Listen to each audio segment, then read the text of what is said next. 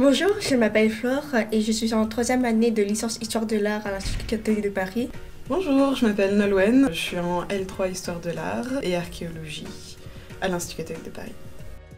J'ai choisi cette licence parce que mon but est de faire de la conservation des patrimoines. L'Institut catholique de Paris proposait pas mal d'options, les découvertes des peuples de l'Orient, etc., qui m'intéressaient beaucoup.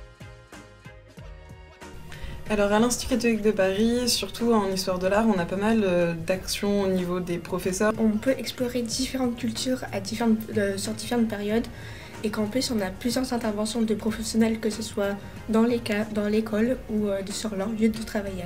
Beaucoup de professeurs qui vont sur le terrain et ça c'est un, énorme plus parce qu'ils savent de quoi ils parlent et ils sont passionnés et du coup nous, donnent, nous transmettent cette passion. Que j'aime particulièrement dans ma licence, c'est l'ambiance. C'est le fait que je m'entende très bien avec tout le monde. Alors il y a l'ambiance entre les différentes licences qui est vraiment très très cool.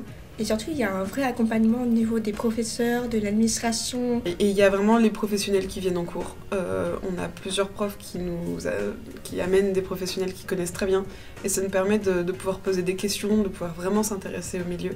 Euh, et puis ils viennent de tous les horizons, que ce soit art de la Chine, art de l'Orient, euh, des milieux qu'on connaît beaucoup moins de base.